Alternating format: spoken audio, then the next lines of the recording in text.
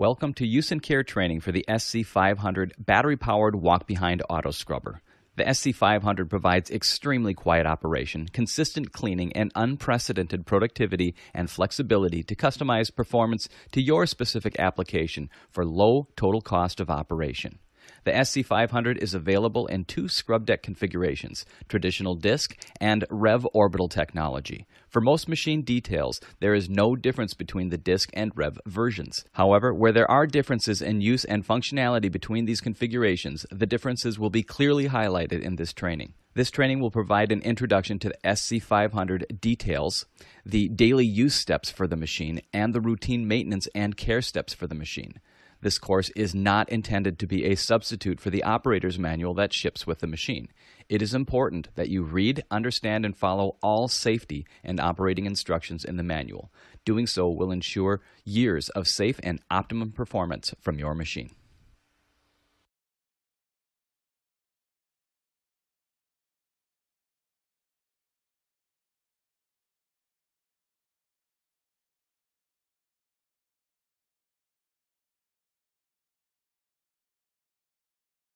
Completing this course, you should be able to identify the SC500 components and their functions, describe pre operation inspection steps, describe how to fill the machine with water and detergent, list the steps necessary to start the scrubbing function, describe how to adjust the machine functions, including speed, solution flow, brush pressure, vacuum power, and chemical concentration, explain the EcoFlex burst of power functionality and when to use it, describe battery charging process, and list routine routine maintenance steps.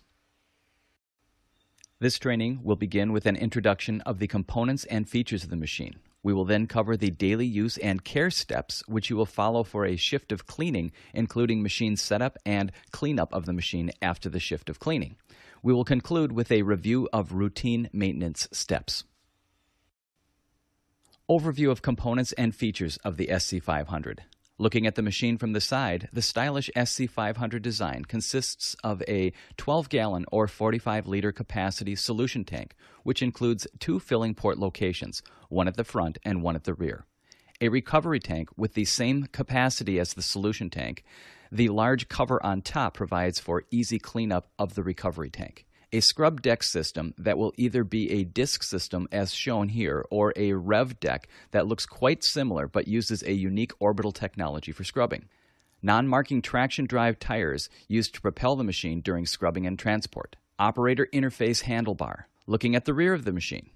Operator controls area with forward and reverse motion control paddles and key slot.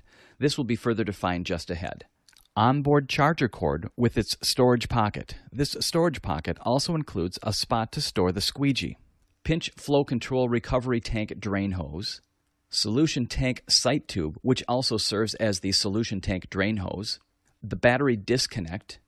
Water recovery system consists of a foot raised and lowered squeegee with a vacuum recovery hose that connects to the recovery tank from the squeegee, and the solution filter with shutoff valve on the side.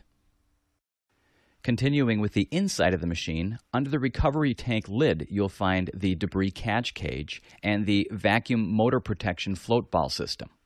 And finally, looking inside the battery compartment with the recovery tank tipped out, you will find the batteries, the detergent tank for the EcoFlex onboard chemical dilution system, the vacuum motor for the water recovery system, and the onboard charger. Operator interface display screen and control buttons. The buttons and operator details screen are common between the SC500 disk and Rev machines, with the exception of one button that will be noted. Key slot. A key must be present here for the machine to function. Machine on-off button. The SC500 also includes an auto turn-off function that can be programmed to turn off the machine after a specified amount of time where the machine has been left idle. Scrub system on and off button, used to turn on the scrub system and increase scrubbing down pressure while cleaning multifunction display screen, which shows status of machine and extra information when control buttons are being pushed. EcoFlex burst of power button, vacuum system control button, solution flow control button, EcoFlex chemical control button. These two buttons, the rabbit and the turtle, increase and decrease the speed of the machine when the motion paddles are pressed. Pressing either button will change the multifunction display to show what the speed level is for the machine. Pictured here is the rev version of the button that will set the scrub parameters to be optimized for finish removal using an SPP pad. For disc machines, this button will look like this and will allow the brush to be removed without touching it when the deck is raised, a click-off feature. The final item and functionality to introduce on the SC500 is the key system which consists of two color-coded keys which provide functionality when inserted into the machine. The operator key is the gray key pictured at the right, and the yellow key is called the superuser key. Both keys ship with the machine, and one of the keys must be placed in the operator dashboard as shown for the machine to operate. The yellow superuser key can be used for normal cleaning operations like the gray key, but its main purpose is to set up and configure the many aspects of the SC500 machine, like chemical dilution strength settings for EcoFlex system, travel speeds, down pressure settings, and many, many more aspects. This training will focus on the functionality that the gray operator key provides. For setup and configuration of the machine using the yellow super user key, refer to the operator manual and follow the screens on the machine and contact your dealer if you have questions. Preparing the machine for use. To assure successful trouble-free scrubbing performance, there are a few preparation and inspection steps that must be completed prior to a cleaning shift with the SC500. If the machine's storing steps were properly followed after the previous use, then you should find the machine like this. The battery charger cord plugged into the wall. The recovery tank cleaned out and left open to dry and tipped out exposing the batteries. The brush is clean and either connected to the machine already or close by and ready to use. The squeegee should be either connected to the machine or in its storage location hanging on the back of the machine. Unplug the battery charger and store the cord in its designated storage pocket on the back of the machine as indicated. If the SC500 is left on charge overnight, the machine should have a full charge and be ready for use. During charging, the recovery tank should be tipped out to prevent buildup of hydrogen gas from battery outgassing. Now the recovery tank can be lowered to its normal operating position. Inspect the pad or brush to assure they are fit for use. Pads and brushes should be relatively clean and free of any larger debris. Using a dirty or overworn pad or brush can damage the machine and or the floor you are trying to clean. Clean the pad or brush if necessary prior to use. Inspect the pads or brushes and determine if there is enough brush or pad life for the scrubbing you're about to complete. If not, replace the pads or brush as needed. Also, replace the pad if there are any tears or missing areas. For disc machines using a pad, replace the pad by squeezing it and releasing the center locking system. Replace the pad and reinstall the center locking mechanism. For rev machines, the pad is held to the scrub deck with a Velcro like system. Simply pull it off and replace as needed. Also, make sure you have the correct pad or brush type for the scrubbing that you need to perform. An overly aggressive brush or pad can degrade the floor finish instead of just clean it. Pad and brush installation is different between the REV and disc versions of the SC500. For REV machines, they feature a 20 inch pad driver head with Velcro like hook material on the bottom. To install a pad, simply slide it under the deck and lift it up and press it onto the hook material, making sure to line it up evenly. Do not remove the center section of the pad as is typically done with disc machines. To remove the rev pad, slide your hand between the pad and the scrub head face to break the Velcro like bond. When using the rev machine to remove floor finish, install a new red or similar scrubbing pad and then place the maroon pad beneath that scrubbing pad. The maroon pad should never be attached directly to the rev driver face. This will damage the driver and it will have to be replaced. When using the maroon pads, there is also a thin optional double-sided Velcro sheet that can be used to attach the maroon pad to the bottom of the red or other scrubbing pad, making it easier since the maroon pad will stay attached to the scrubbing pad. Be sure to pre-wet the SPP pad before beginning floor finish removal for best results. There is also an optional Rev brush to install the Rev brush, align the marks on the edge of the brush with the notches on the edge of the Rev driver as shown. On the face of the Rev brush are plastic thumb screws that are tightened to hold the brush in place. Pad driver or brush installation for disc machines. You can install the brush by hand manually by lifting the brush into position and giving a slight rotation to lock it in place. Or you can automatically install the brush with the following steps.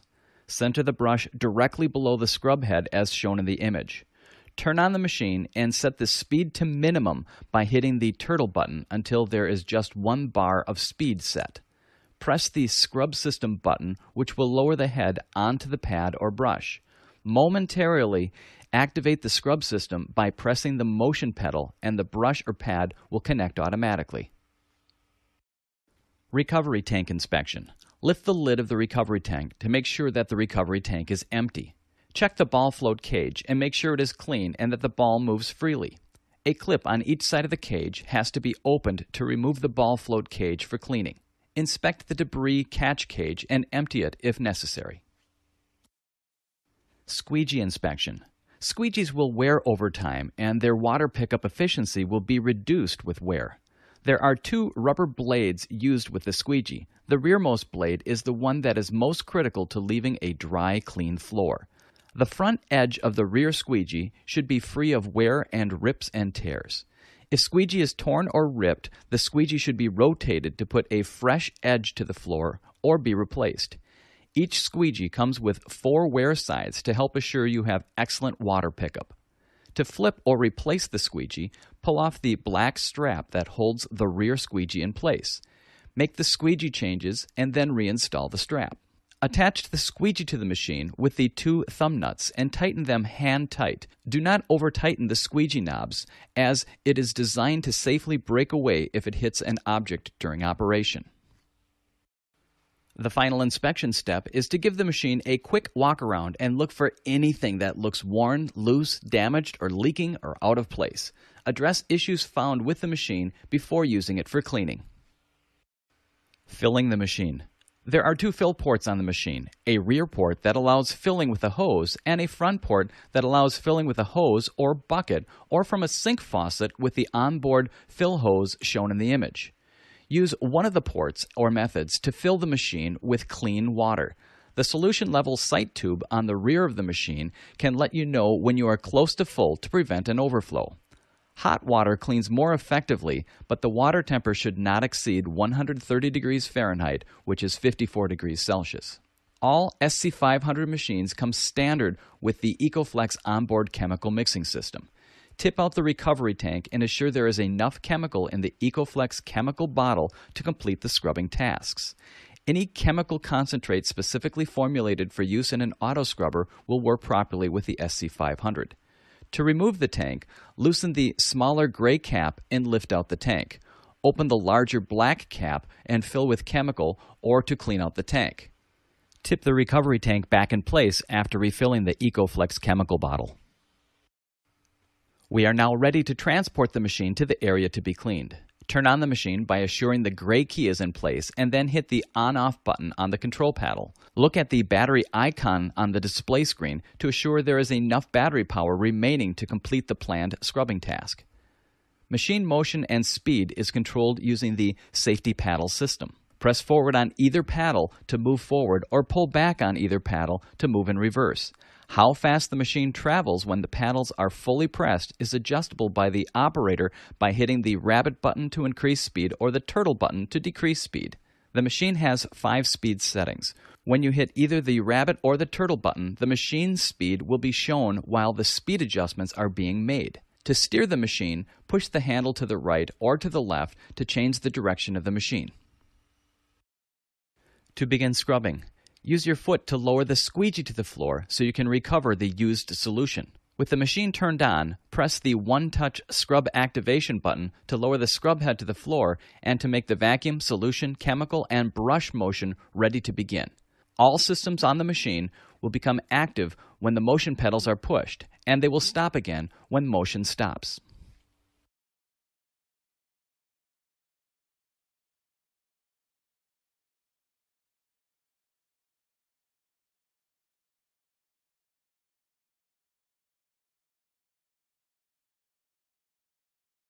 When scrubbing begins, this is what the multifunction display will look like. Let's go through this screen and look at the adjustments you can make while scrubbing to maximize machine performance and efficiency in a specific cleaning application. Note, using the yellow superuser key will allow custom configuration of each of the scrubbing control functions to optimize machine performance and flexibility for a specific application. See Operator's Manual for more details about configuration using the yellow superuser key. The leftmost section of the display will show what water flow setting is active. Hitting the water flow adjustment button will toggle up the flow until there are four bars displayed. The next press will toggle water to off and then begin from bar 1 again. Flow settings 1 through 3 utilize speed dependent flow control. This means that the amount of water put out by the machine automatically decreases when you slow down or increases when you move faster to help assure even cleaning and maximize scrubbing time per tank. Setting 4 is not speed dependent flow control and is used only for when a lot of solution needs to be put down for some very high soil loads. This area of the screen controls the EcoFlex system chemical concentration. There are three settings here that are toggled through with the chemical control button. When either one or two bars are present, it will also show the current chemical dilution strength in the percentage and ratio of chemical to water. When no bars are shown, cleaning is being done with water from the solution tank and no chemical. To change the dilution strength settings configured in the machine, use the yellow superuser key. This area of the screen will show a number that counts down when the EcoFlex Burst of Power button has been pushed, activating the Burst of Power feature. Burst of Power is a great way for an operator to increase the cleaning parameters to more aggressively clean with the touch of a single button when a more dirty area or a spill is encountered. This feature will simultaneously increase the solution flow, chemical setting, brush pressure, and vacuum power one setting higher than what they were previously set at. Burst of power will remain active until the countdown hits zero. At that point, the SC500 will return to the cleaning parameters that were active prior to hitting the burst of power button. The battery image provides information on remaining battery power. The more bars present, the more battery charge that is left. The scrub brush icon, when present, represents the scrub deck is down and active. There are two down pressure settings available. If the scrub activation button is held down for a second, the higher scrub setting will be active and a second weight will appear above the scrub brush on the display, and the light next to the scrub activation will be lit. Pressing this button again for a second will return the unit to the lower scrub pressure level. Pushing this button momentarily while in either scrub pressure level will turn off the scrub system and raise the scrub deck. The final area of the screen shows what vacuum system setting the machine is in. There are three levels that can be toggled through by hitting the vacuum system button. Normal mode has the vacuum on. The quiet mode has the icon that is shown and runs the vacuum motor at a lower power for quieter operation. The final mode is vacuum off, where the display will be blank in the vacuum indicator area. This is used for double scrubbing applications. Note, some functionality can be locked out using the yellow superuser key, like flow level 4 and the higher scrub pressure level. If functionality of your machine is not as explained above, then the machine has specifically been configured to run in the way you are seeing it. Rev models of the SC500 provide the ability to remove floor finish using just water in combination with a surface preparation pad. For best finish removal results, the machine needs to be run with high down pressure, low solution flow without chemical, and slow transport speed. Hitting the Rev button will automatically set all of these scrub parameters in these conditions as shown in the image. When the Rev button is hit a second time, the scrub parameters will return to their previous settings. As a reminder, when using surface preparation pads with a Rev machine, a buffer pad must be used between the SPP pad and the Velcro-like surface face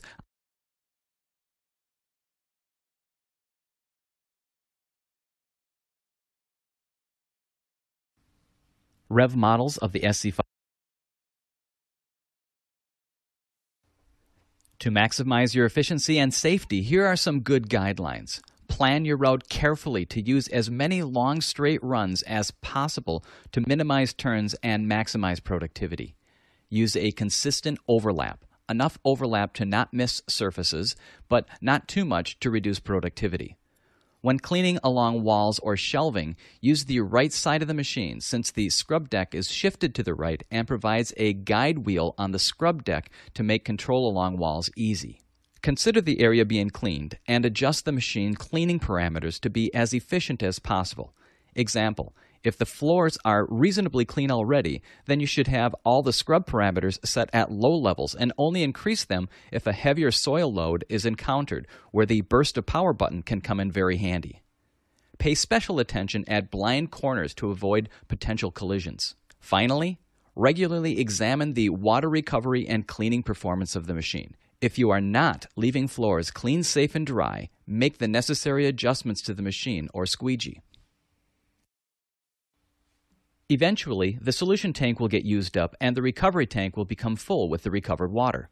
The SC500 has a ball float valve that protects the vacuum motor from ingesting water. Once the ball float valve activates, the vacuum motor pitch will change to a higher pitch sound, and water will no longer be picked up from the floor with the squeegee. Usually, you will run out of water from the solution tank before the float ball engages. When the solution tank is empty or the recovery tank becomes full, transport the machine to a suitable location to empty it. Remove the recovery tank drain hose from its storage clip location and remove the cap from the hose. Bend the hose over to prevent flow, then release the hose at the drain opening. You can use your foot to control the flow if required. Reinstall the drain hose cap and put the hose back in its storage position after draining. If more scrubbing is to be completed, fill the machine again and go clean.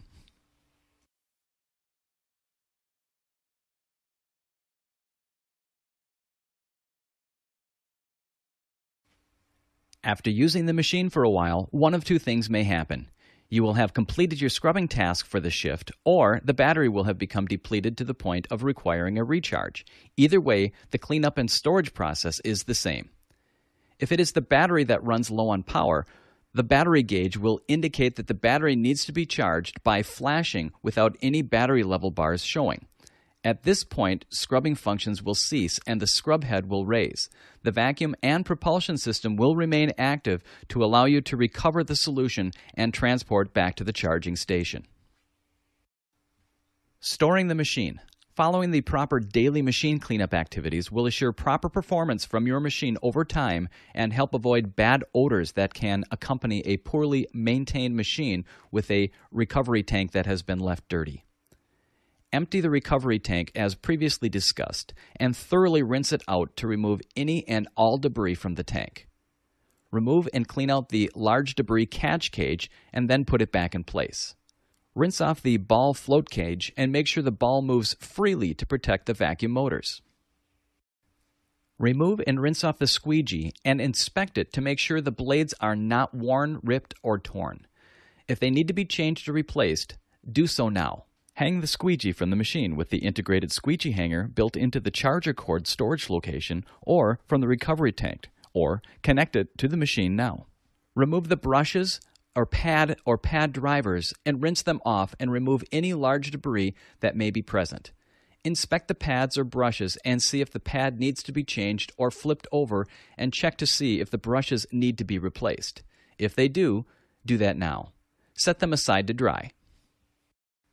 Charging. Tip the cleaned and empty recovery tank out to expose the batteries during charging to prevent buildup of explosive gases. When tipped out, the recovery tank lid will open a bit to allow it to air dry. Plug the onboard battery charger cord at the back of the machine into a wall outlet to begin charging. The machine needs to get a full charge overnight after each day's use, but it is also advisable to plug the machine in when not in use during the daily breaks, since batteries will last longer when they are sitting in a charged state. It's also a good idea to take a wet rag and clean off the exterior of the machine to keep the machine looking at its best. Routine maintenance. Besides the maintenance steps that are done on a daily basis to prepare and clean up the SC500, there are also periodic maintenance tasks that should be completed. Weekly, one should, for machines that do not have maintenance free batteries, you should check the water level of each battery cell and add distilled water as needed. Fill to above the plates and to just below the bottom of the fill tube. but not all the way to the top of the cell to allow for expansion while charging. Failure to keep the battery fluid level above the battery lead plates will decrease runtime and overall life of the batteries significantly. Caution Batteries are filled with strong acid. Use care and protective equipment while inspecting and maintaining battery fluid levels. Clean the solution filter. The filter is located on the left side lower back of the machine. Turn the isolation valve for the filter to the closed position. Unscrew the filter cover, being careful to not lose the O ring which is inside. Clean out the filter screen and then reassemble, being sure to open up the water valve again, or no solution will come out during scrubbing. Purge the EcoFlex chemical system. To remove residual detergent from the detergent hoses and pump, activate the scrub system and assure the chemical system is also active, with either one or two bars being present on the display for the detergent concentration. Then press both the solution and chemical control buttons for around 5 seconds to activate the EcoFlex purge mode, which takes clean water from the solution tank and purges it through the EcoFlex detergent supply line. The purge mode will run for 30 seconds, during which the word drain will be displayed on the display as shown. Squeegee pitch adjustment. When inspecting the squeegee, if the squeegee blades are not evenly worn, as an example, greater wear on the outer edges of the rear squeegee blade compared to the center of the blade, or vice versa, then the squeegee pitch should be adjusted. To adjust this, with the squeegee attached to the machine and lowered to the floor, adjust the squeegee adjustment knob to make sure that the squeegee is running evenly across the floor for better water pickup and more even squeegee wear. The following maintenance tasks should be performed manually. The carbon brushes in the vacuum motor and scrub deck should be inspected for wear and replaced if necessary. Refer to the operator's manual or an authorized advanced service center for carbon brush inspection and replacement help. For REV machines, inspect and replace as necessary the scrub deck brush vibration dampers. Consult an authorized service center for assistance with this task and any other service tasks. This concludes the instructional portion of this course. After successfully completing this course, you should now be able to identify the SC500 components and their functions, describe pre-operation inspection steps, describe how to fill the machine with water and detergent, list the steps necessary to start the scrubbing function, describe how to adjust the machine functions including speed, solution flow, brush pressure, vacuum power, and chemical concentration, explain the EcoFlex burst of power functionality and when to use it, describe battery charging process process, and list routine maintenance steps. Next, we'll follow a quiz used to help confirm transfer of key knowledge from this module. A score of 80 or above is a passing score. If you